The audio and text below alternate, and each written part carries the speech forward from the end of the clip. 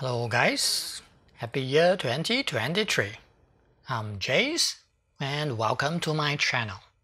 I changed the contrast ratio value from official to calculated one. Guess what? I'm surprised by the values myself. FYI, I'm using X-Rite i1 Pro 2 spectrophotometer with DisplayCAL software, projecting at 60 inch on a white PVC projector screen, using a laptop through an HDMI port. And this will be the standard for all projectors review. Projector screen type and room lighting affect contrast ratio.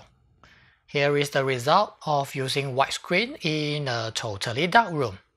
It has around 50 nits max brightness and 0.07 nits black level. So you have 700 contrast ratio.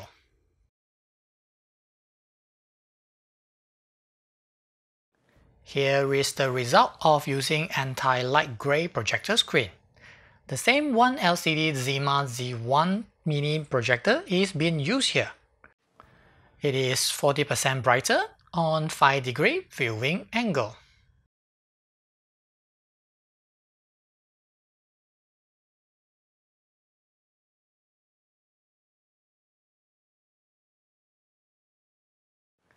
And here is the result of 35 degree viewing angle.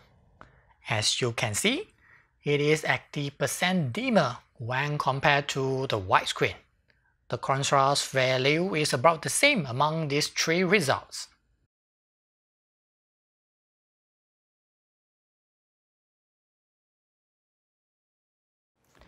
Lastly, ignore the marketing contrast value, which I always do. They are usually fake. That's all for now. Thanks for watching. See ya.